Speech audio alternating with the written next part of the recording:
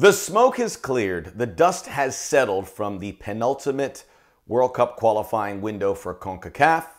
The United States, last time out, I should have stuck to my guns. I said six point window out of respect for Canada. Then I changed it because of Alfonso Davies, but I should have gone with my first instinct. Six points it was. And the last three points in Honduras obviously puts them in a much safer situation, but it is still touch and go here for the U.S much better position than they were five years ago when they were trying to qualify for Russia.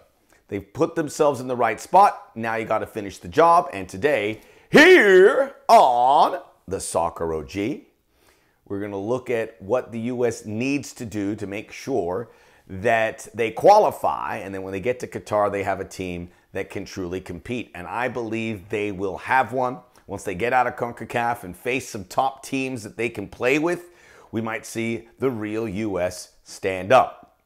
Thanks to everybody who uh, contributed. Thanks to L3 Online as we did our remote broadcast from Tony P's. We got great response from a lot of people who said, come out to Long Beach, come down to Orlando, come to Texas to do a, a live remote. And we certainly are hoping to do that. And we will be moving forward all the way through 2022. After all, this is a World Cup year. Check out the Soccer OG podcast where all podcasts are available. Coming out on Monday, I'll be joined by Taylor Rockwell of the Total Soccer Show. That should be a nice chin wag for sure. And yes, please like and subscribe to Soccer OG here on YouTube. Let's get these numbers going. The numbers have been great across the boards for everything, and I thank you. I am eternally grateful. Let us take a look at where everything stands. We'll see a lot about this, and from now until late March, it's going to be nerve wracking. We're going to get sweaty palms. We're going to be worried sick. And hopefully, things get resolved early so that the U.S. can forget about qualifying, get their ticket, and then start preparing for the World Cup. Remember, April, early April, we have a draw. We have a World Cup draw, which should uh, I can't. Re- I, I, remember not being able to see the United States in the last World Cup draw, and it was just the most depressing thing ever. I don't want to go through that again. We won't. We won't. The U.S. will make it. So this is what it looks like. Canada has 25 points. USA and Mexico at 21. USA with a slightly better goal differential. Panama has 17. Costa Rica has 16. And I mentioned Costa Rica because that is the wild card because what they were able to do, getting seven points in the last window, uh, and, and some, truck, some tricky opposition. Now, worst case scenario for the U.S. if they bottom out is not finishing fourth and going to the playoff. It's finishing fifth like they did five years ago and missing everything because of the emergence of Costa Rica, who were done and dusted by the end of 2021, but the resurgence has been strong and they are back in the mix. And we all know underestimate Costa Rica at your own peril. Costa Rica, quarterfinalists in the World Cup. They're just a great program. And it looked like they were bottoming out, but they have come back strong. Joel Campbell, fantastic team. And look, they could get nine points in this window. They face Canada at home. Canada might be slightly checked out because they would have qualified already. They're not going to force the issue, I don't think. But then again, Canada has a goal here, and they have been uncompromising. They will keep going. So it's not it's not an easy game, but it's at home for a, Costa Rica team playing very well with a great goalkeeper. Then they travel to El Salvador, and then they take on the United States. And uh, the United States has not fared well against Costa Rica, really home or away. And I know we will be a nervous wreck if we go to that final game we haven't qualified. I don't even want to think about it. I apologize for breathing that into existence. But keep it in the back of your brain. So for the United States, these three games coming up Mexico, USA at the Azteca. USA could certainly get points here. There will be fans for Mexico this time after missing fans the last two games. And Mexican fans have to be on their best behavior because not being there hurt their national team. They are better with fans, dropped points to Costa Rica, and barely escaped Panama. And no matter what you think about the chant, maybe it gets lost in translation. There are some cultural differences which I stand by. Still, It is viewed poorly across the board. It's going away, and the Mexican fans will be punished, and Mexico will be punished if it resurfaces. So don't do it. Don't do it. The big game for the United States is at home against Panama three days later. Got to win that game. And they should. And that was a game in Orlando five years ago. I think it was the next to last game in the US won before Couva happened.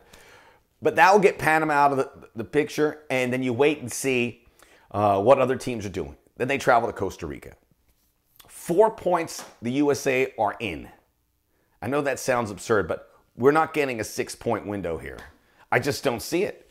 That's a very difficult three games, two on the road, at two of the hardest places, if not the two hardest places in CONCACAF, notwithstanding Canada, which has emerged here, uh, not historically significantly difficult, but now it is. And that's a good thing for CONCACAF, as we've touched on here.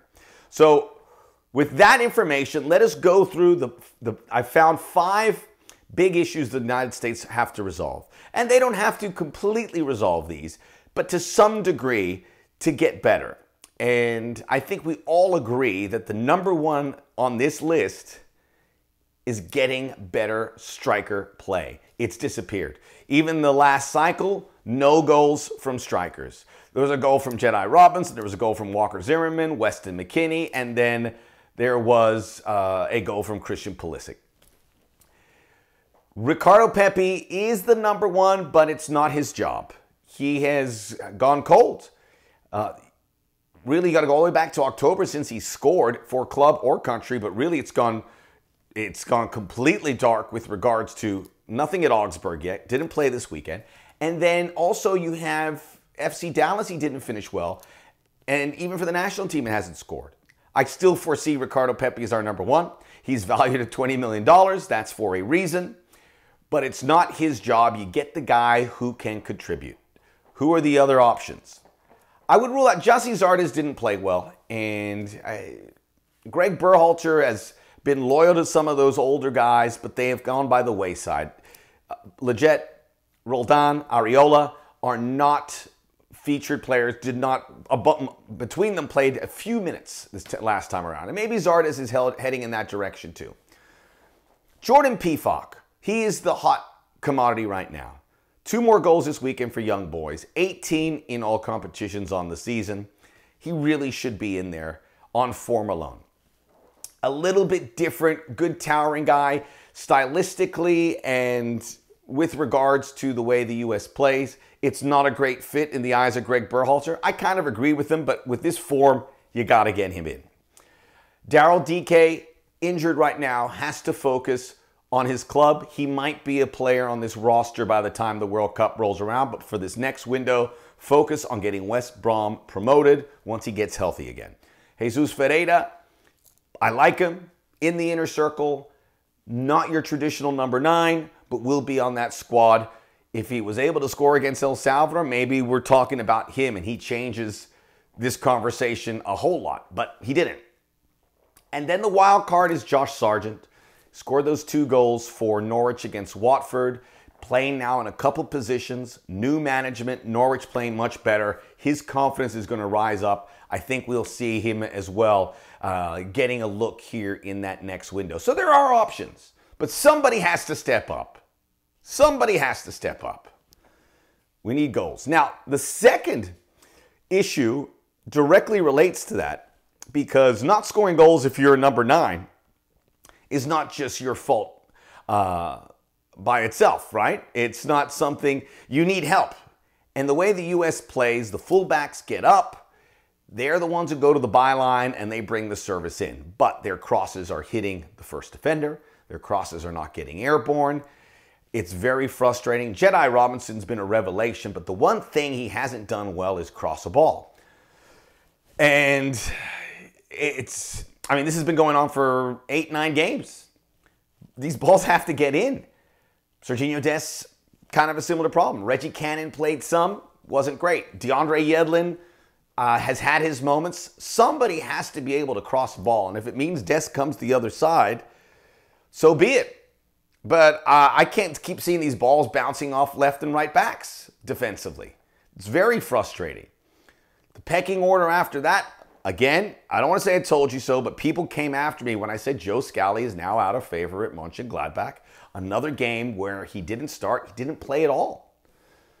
If he doesn't play, he's not getting called in. George Bello, his first game for Arminia Bielefeld, uh, did come off the bench. Maybe there's something there. Maybe Bryan Reynolds when he settles in with his new club. Again, there are options, but somebody has to prove that they can cross a ball. One fullback. If not, you have some sort of systematic change where the fullbacks aren't crossing from the wide areas. It's a problem. And that will help the first issue if that can come around. So that's two. Again, these are just small degrees of improvement that will help the United States immensely. When I say small degrees, one or two crosses get through. Number three, set pieces. And what does it mean, or what does it do to the lineup? So, Kellyn Acosta, three set pieces that led to all three goals against Honduras. Kellyn Acosta is, is, a, is an inconsistent player. And Tyler Adams, when he returns, would slot in front of him in that deep lying midfield role. You would think. The midfield looked locked in. Musah, and then obviously McKennie. McKennie is a lockdown in ink starter. He's our best player right now. And then Tyler Adams. Christian Pulisic didn't start against Honduras. Can you give him the set pieces when he has done nothing in that department in a long time. And keep in mind, when he's at Chelsea, there are seven players who have taken a set piece. And I said this in the last video. There are seven players who've taken a set piece for Chelsea this season penalties, corners, free kicks. Pulisic is not one of them. Ben Chilwell is one of them. Reece James is one of them, but not Christian Pulisic. So he's not taking set pieces there, which is not going to help him here. We need someone to take set pieces as we saw against Honduras. And right now, Kellyn Acosta is the best candidate. But do you put him in? And where do you put him in? Uh, this Tyler Adams situation could be, or there's some sort of movement at the top. Is it is it Gio Reyna who we'll get to in a moment?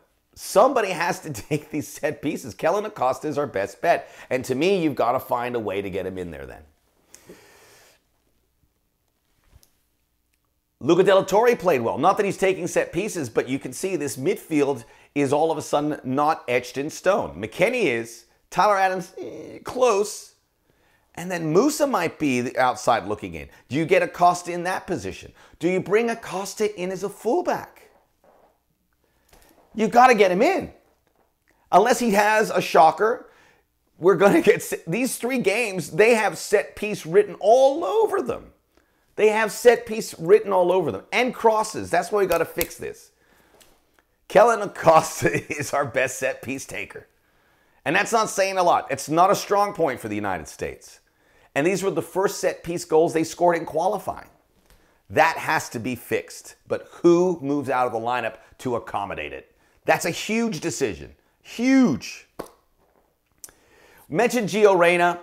That is number four on my list, and it was great to see Gio come in, played 29 minutes for Dortmund, even though they got the doors blown off of them by Bayer Leverkusen.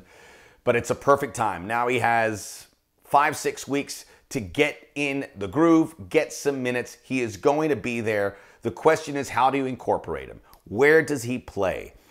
When we saw the attacking front lines, uh, it was Pulisic, Ferreira, Weah, in the first game, Pulisic, Zardes, Aaronson in the second, Weah, Pepi, Morris in the next. Uh, Pulisic, people started talking about using him as a super sub. It's not the worst idea, but I think you want him in there. So let's say Pulisic, Pepi, and then what? Weah or Reyna? And Aaronson's the guy who's on the outside looking in. Or maybe Reyna comes a little deeper. But then what do you... It's another big dilemma. And what you want to do if you're Greg Berhalter is eliminate dilemmas. You want as few of those as possible.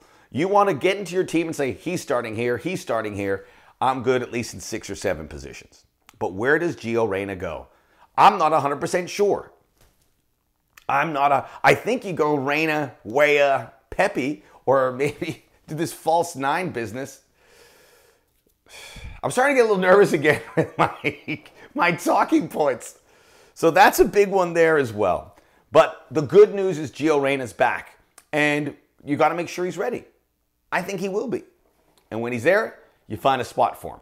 The good news is depth is going to be a huge positive, and the U.S. can use that to their favor. And remember, it's three games where you can move around a little bit. The final thing on my list is who is your starting center back combo? I want to just reiterate that I, I said this as well that those three center backs were going to play all three games, and they did. And our defense is excellent. Our defending is really good from that position. Take the Canada late goal where Miles Robinson got skinned there, and they were pressing, but they really allowed the one goal, a freakish goal. And in the other two games, they got clean sheets and not many clear cut opportunities for either team there. We had Zimmerman and Richards in the El Salvador game. Richards and Miles Robinson in Canada, Zimmerman and Robinson in the last game because Chris Richards had an ankle injury. Who is the best partnership there? It is those three guys. John Brooks, we can talk about. He is not better than any of these three guys. Okay? I know he, Wolfsburg is playing better. John Brooks is not an upgrade to what we've seen in our central defense. I like the guys we have. Maybe John Brooks gets called in, but I don't want it to mix up with the identity of what has been created, which is very good for the U.S. Miles Robinson was the golden child. Chris Richards has come a long way, and I think Walker Zimmerman works best with both of them. So I think Zimmerman gets in, and I think it's Richards, which was the combination against El Salvador. But again, three games, all three will play. But I don't want another player other than those three guys in the starting 11 when those games start to fall. And no other center back played. No other center back played in those last three games. So we talk about Mark McKenzie or uh, John Brooks, or if we go even further down the pecking order, I'm not sure who's going to be there. But it's those three guys. Eliminate the dilemma. Eliminate the dilemma, and there you have it. We're going to talk a lot more about the U.S. men's national team, World Cup qualifying the draw in April. Everything's falling into place. What an exciting time. We will be here on the Soccer OG either from the studio or on the road. Please like and subscribe. Thank you for the support, and let's get this job done. Let's do a little homework. Let's get it done.